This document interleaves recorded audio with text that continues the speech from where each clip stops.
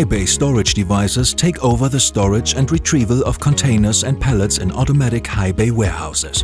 Our sensor solutions guarantee optimum speeds and maximum reliability of the devices.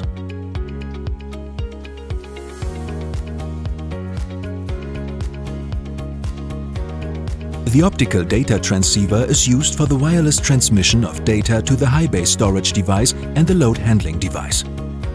The distance to moving system parts is determined by the laser positioning system.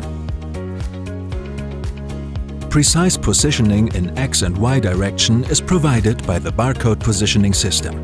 It determines the position based on the position information attached to the barcode tape.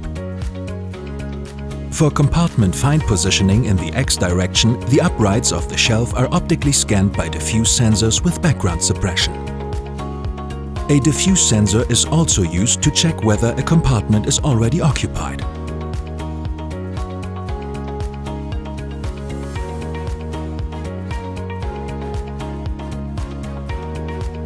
For compartment fine positioning in the Y direction, the edges of the traverse bar are approached by diffuse sensors.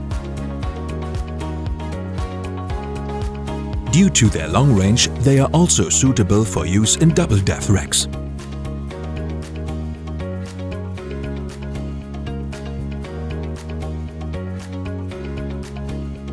During retrieval, the optical distance sensors monitor that the stored material is not pushed through by the fork.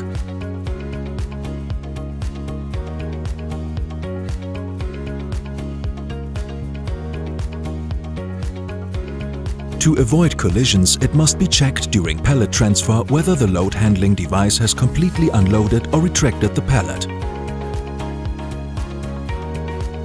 For this purpose, the optical sensors monitor the presence of the material at different positions.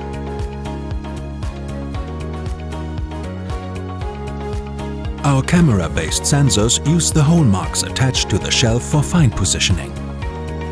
They can be used on both single and double depth racks.